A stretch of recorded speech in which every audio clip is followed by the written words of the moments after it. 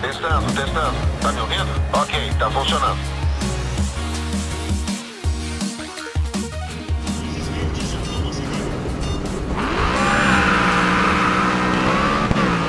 Você está em décimo segundo. Lute por uma posição melhor e cruze a linha de chegada.